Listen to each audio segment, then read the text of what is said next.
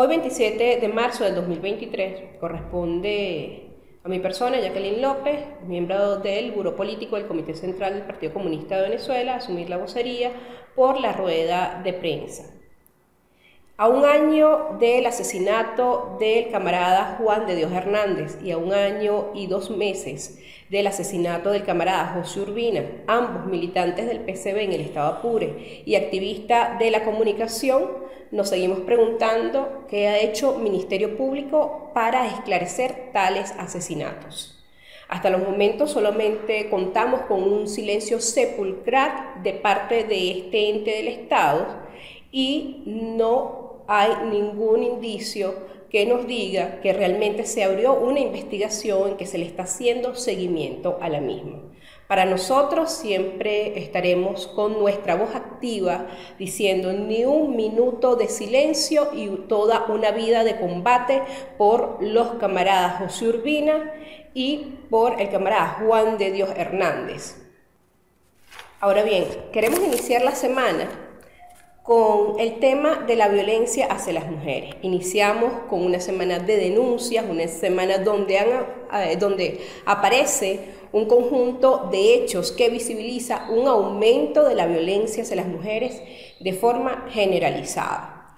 Eh, de tal manera que para esta semana se, se vieron casos publicados principalmente por redes sociales sobre la violencia que sufrieron jóvenes universitarias de la Universidad Central de Venezuela y de la Universidad de Carabobo.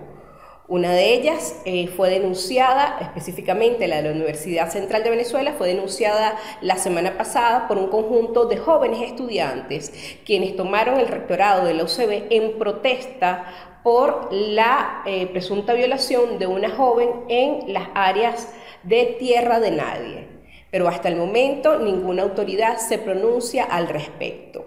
A su vez también este fin de semana en la Universidad de Carabobo otro hecho similar aconteció respecto a la violencia sexual ejercida hacia una estudiante de esa casa de estudio donde eh, presuntamente un conductor de una de las líneas que eh, transita en esa vía eh, perpetró este este hecho contra la estudiante, violentándola sexualmente y donde eh, este elemento se suma a la gran cantidad de denuncias de acoso y de violencia sexual en las universidades de nuestro país.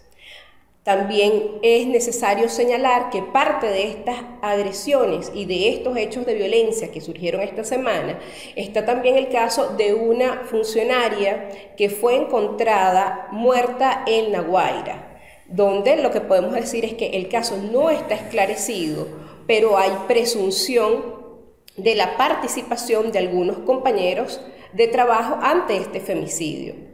Solicitamos al Ministerio Público esclarecer los hechos, pero además demandamos al Estado venezolano urgentemente políticas públicas que realmente atiendan las necesidades de las mujeres que son víctimas de violencia eh, desde los primeros momentos de la etapa de la vida. De esto también le tenemos que demandar al Ministerio Público, demandar a las autoridades del Estado que debe existir la aplicación de los protocolos de registro y de atención a las víctimas de violencia. Al parecer, estos protocolos no se, no se aplican en los órganos receptores de denuncia, ni del Ministerio Público ni de las policías, ya que muchos funcionarios, inclusive cuando son hechos que están, se encuentran aún en vigencia y en fragancia, sencillamente no los toman es por eso que eh, demandamos que no se siga revictimizando a las mujeres, que no sigan siendo las mujeres víctimas de este tipo de violencia, que esto conduce sencillamente, la impunidad conduce sencillamente a el asesinato de mujeres, es decir, al aumento de los femicidios y los feminicidios dentro del país.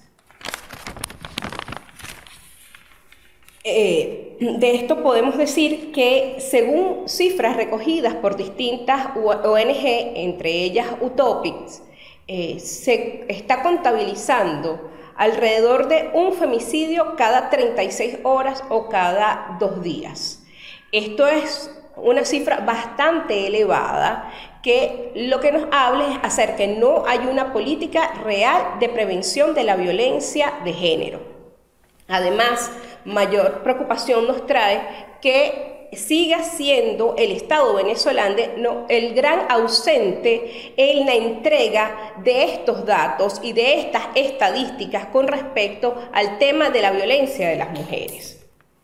El fiscal general de la República eh, esta semana solamente se refirió a unas, a unas mujeres que fueron además vinculadas con todo este proceso de corrupción que está siendo develado y que ha salido a la palestra pública los últimos días, el fiscal lo único que hizo fue referirse a estas mujeres que presuntamente eh, participan en estos hechos de corrupción como eh, vagas y mujeres que no estudian. Esto haciendo referencia a aquellas mujeres que eh, se encontraban vinculadas a la red de trata y la red de prostitución develada. Hay que decirle al fiscal general de la República que es necesario que se hable con mayor claridad de los hechos de corrupción en Venezuela, de los hechos de corrupción que están acaeciendo en PDVSA y que no se lance este pote de humo criminalizando solamente con estos elementos a este grupo de personas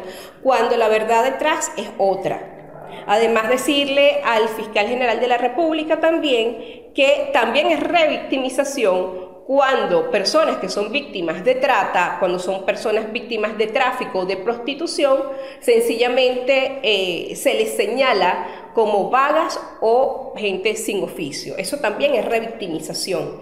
Y por ende, lo que pedimos nosotros es que se esclarezcan los, eh, los casos y que además se haga una investigación mucho más exhaustiva en los hechos de corrupción que además están siendo cada vez de forma más integrales, es decir, permean sobre casi todas las capas de la sociedad venezolana.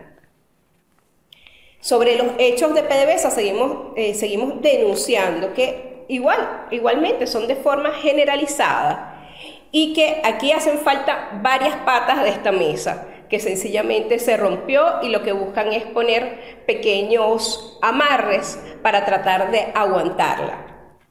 En este caso, eh, nos referimos a que se sigue manteniendo la práctica y el vicio de mantener al a la misma persona como presidente de PDVSA y a su vez como ministro de Energía y Petróleo.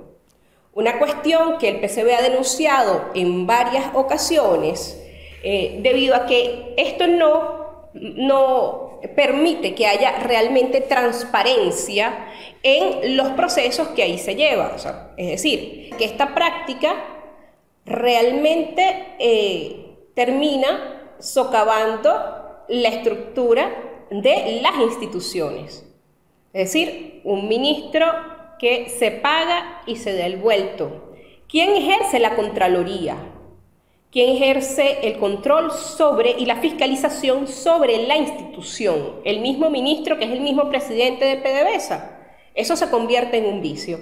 ¿Dónde entra en juego la Contraloría Social? ¿Dónde entra en juego la Contraloría ejercida por los trabajadores y trabajadoras? Cuando cada vez se ve más minimizada la participación de la clase trabajadora en los procesos de planificación del Estado ha sido sencillamente marginada. La clase trabajadora petrolera, la clase trabajadora de las instituciones y de las industrias del Estado, de los procesos de fiscalización, de control y de participación en la eh, planificación y contraloría de las instituciones nacionales.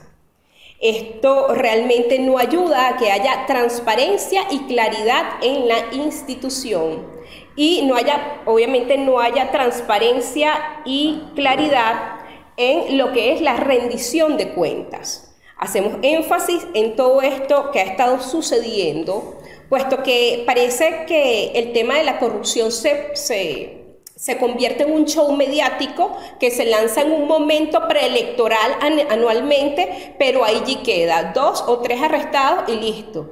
No vemos a una Contraloría realizar eh, realmente la fiscalización y el, y el seguimiento de los bienes que tienen funcionarios públicos del Estado. Como un funcionario público que gana salario mínimo o dos salarios mínimos va a tener una camioneta que cuesta 100 mil dólares. ¿De dónde va a salir ese dinero? ¿Cómo ese funcionario o esa funcionaria puede acceder a ese recurso o a ese bien si sencillamente vive de los sueldos y salarios paupérrimos que tenemos en estos momentos la clase trabajadora venezolana.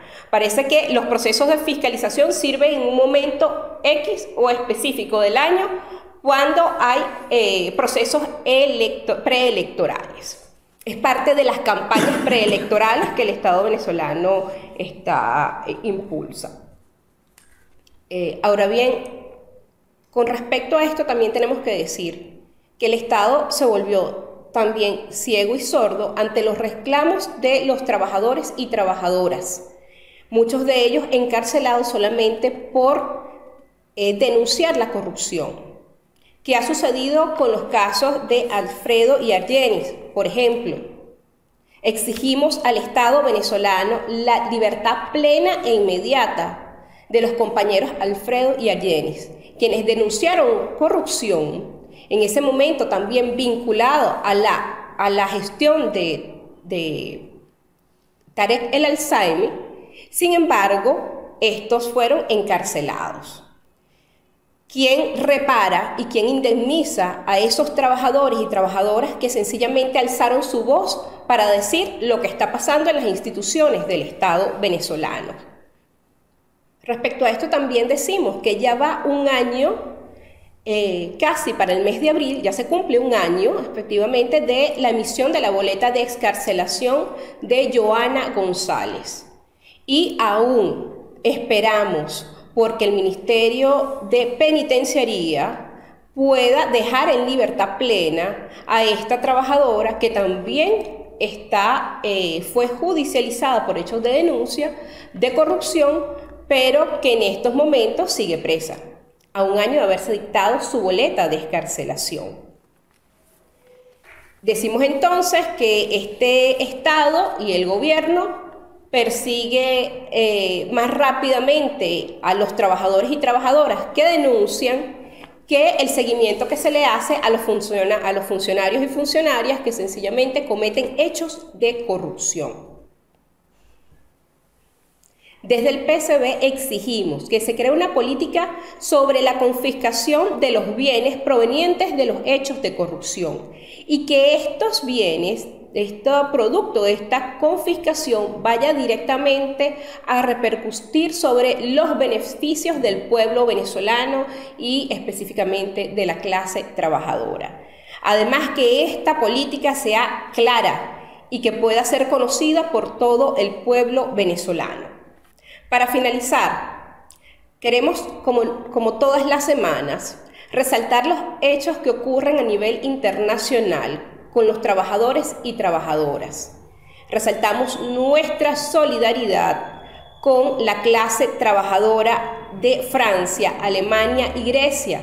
El pueblo trabajador que en estos momentos se encuentra en las calles en protesta debido a las recesiones que tienen en las condiciones en sus condiciones laborales. En este caso, las protestas van dirigidas por el aumento en la edad de jubilación de los trabajadores y trabajadoras francesas. Eh, esto es práctica de las políticas neoliberales estas prácticas tampoco nos son ajenas. Nosotros estamos viendo también lo que sucede en Venezuela con los trabajadores y trabajadoras. Y esto que visualizamos a nivel internacional también tiene su reflejo en nuestro país cuando cada día las consecuciones de los trabajadores y trabajadoras venezolanas y venezolanos se van mermando debido a las nuevas políticas liberales que aplica el Estado venezolano.